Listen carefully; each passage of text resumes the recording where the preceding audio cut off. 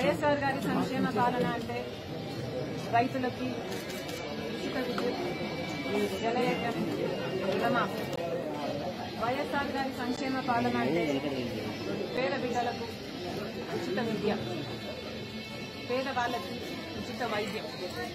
వైఎస్ఆర్ గారి సంక్షేమ పాలన అంటే మహిళలు వాళ్ళ కాళ్ళ మీద వాళ్ళు నిలబడ్డం. లక్షాధికారులు కావాలి.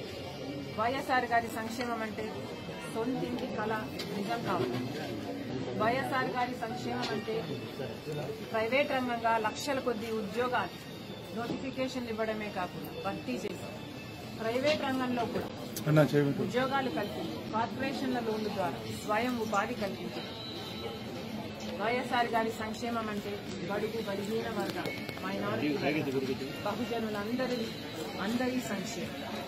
అది వైఎస్ఆర్ గారి సంక్షేమ పాలన.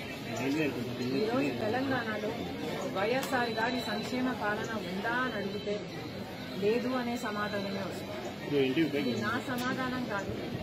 ఇది తెలంగాణ ప్రజల సమాధానం.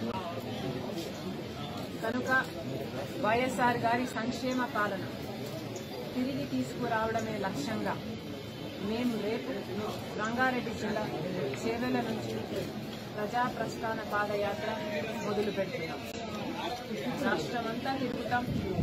ప్రతి పల్లెకు పోతాం. ప్రతి గడపను తడతాం ప్రజలతో మమేకమవుతాం. ప్రజల కష్టాలు వాళ్ళ నోటి నుంచే వింటాం. ప్రభుత్వాన్ని నిలదీస్తాం. ప్రజల పక్షాన పోరాటం చేస్తాం. ప్రజల పక్షాన నిలబడతాం. ప్రజల పక్షానే నడుస్తాం. వైఎస్ఆర్ సంక్షేమ పాలన తిరిగి తీసుకురావడమే లక్ష్యంగా చేస్తున్న ఈ పాదయాత్ర. తెలంగాణ ప్రజలంతా వైఎస్ఆర్ అభిమానులంతా ఆశీర్వదించాలని మనస్ఫూర్తిగా ప్రార్థిస్తున్నాను మా అడుగులో అడుగు వేయండి మా చేతిలో చెయ్యి వేసి మనమందరం కలిసి పోరాడితే వైఎస్ఆర్ సంక్షేమ పాలన మళ్ళీ సాధ్యం. Thank you